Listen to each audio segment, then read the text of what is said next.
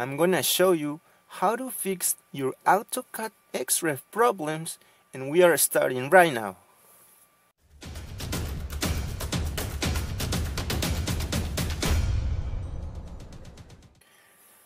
AutoCAD XREF problem number one.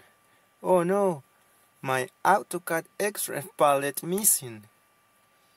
If you don't see your XREF palette by typing the shortcut XR and pressing enter, it might be hidden anywhere outside your screen.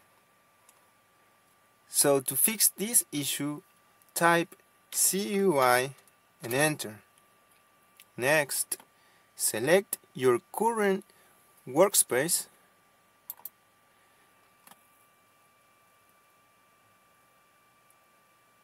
open the Palettes section and click External Reference.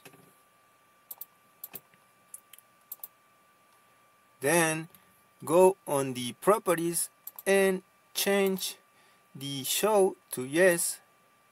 Also change the orientation from floating to either left or right. Finally, click Apply and OK. As you can see, your AutoCAD XREF palette missing problem was solved. AutoCAD XREF problem number 2. XREF disappears when binding. As you can see, if I try to bind this existing external reference or XREF by going to the XREF palette and click on it, right click and choose bind. We have the following options. If we try first bind and click OK, you can see that nothing really happens. My external reference is still there. So let's try the next option So click your XREF, right click on it, choose bind, and then insert this time. So let's click OK. And you're still having the same XREF binding problem. So you might experience even the XREF disappear when you choose the bind option. So let's solve this. To fix this, the first thing that you can do is use the purge command. So let's try purge and press enter. Then click or type all and press enter. Asterisk, enter, and N for no and press enter. So if we try to bind again, let's see what happens.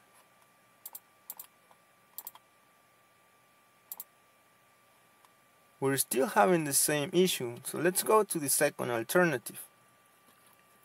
So let's type rename and press enter.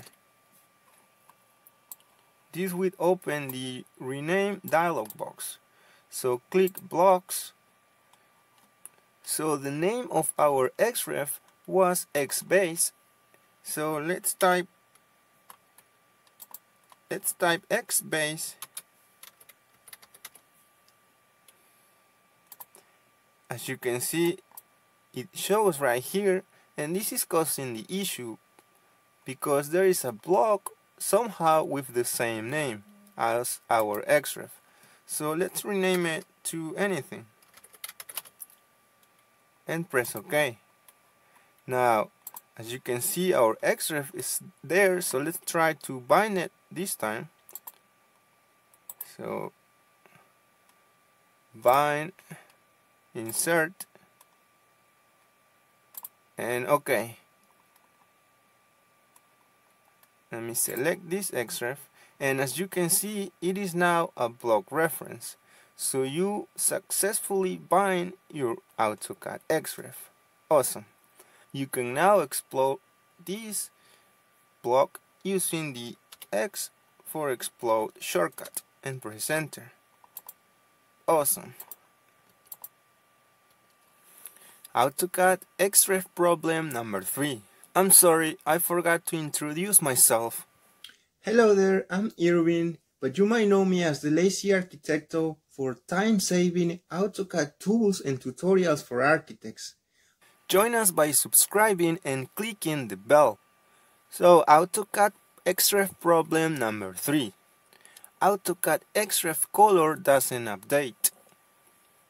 If we click our XREF and right click on it to open it and if we change a color of one of our layers let's say for instance I'll change the color of this wall to red for instance and click OK. Then if I save using the qsave command now that I go to the file where I extracted the base plan reload from the XREF palette you will see that the color still is not updating. So to fix this go ahead and type bis retain and press enter. Set it to 0 and press enter again. Now let's try to reload our XREF again. And as you can see your AutoCAD XREF color doesn't update was solved. So, do you have any other AutoCAD XREF problems? Let me help you in the comments below.